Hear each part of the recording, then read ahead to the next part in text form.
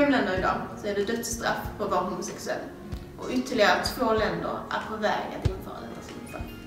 I ännu fler länder är det olagligt eller socialt oacceptabelt att tillhöra HBTQ+. Jag heter Linnea Jag heter Kajsa.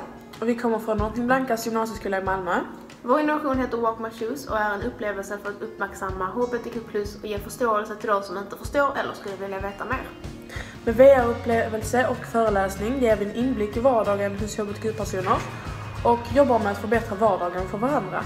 Vi riktar oss främst till elever och lärare på skolor men även till företag som har ett behov av denna informationen.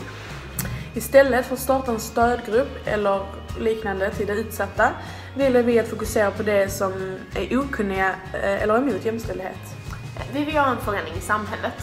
och inte bara en provisorisk lösning.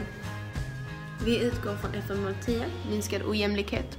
10.2 till 2030 möjliggöra och verka för att alla människor oavsett ålder, kön, funktionsnedsättning, ras, etnicitet, ursprung, religion eller ekonomisk eller annan ställning blir inkluderade i det sociala, ekonomiska och politiska livet. FN-mål 16. Fredliga och inkluderande samhällen. 16.1.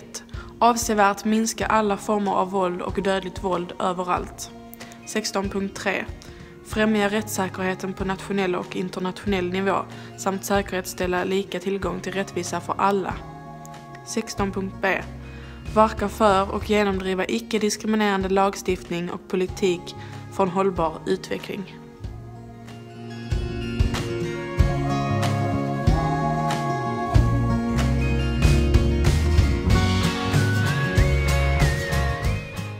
Har valt att fokusera på FN-målet. Minskad ojämlikhet.